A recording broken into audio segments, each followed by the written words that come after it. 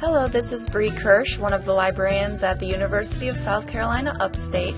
Today I'm going to show you one of our multidisciplinary databases called Academic Search Complete. It has lots of information about a wide variety of topics.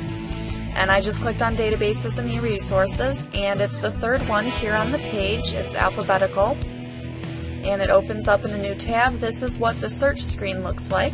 So let's do a quick search on dogs just to see what we get and we have over 84,000 results. That's way too many to look through, so I'm going to go to these limiters.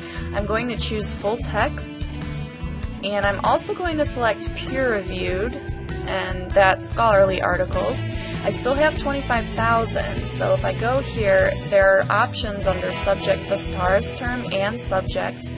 And let's say I'm interested in the therapeutic use of dogs. So I'll select that subject and I get 368 results. That's still a lot of results, but it's a little easier to sift through.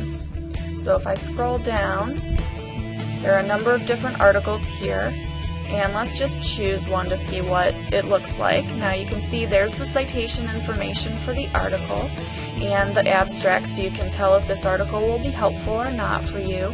You can use these tools on the right hand side, such as emailing or printing or saving the article. And if you want to see the full text, you just click PDF full text, and here it is, including all of the graphs and charts as well.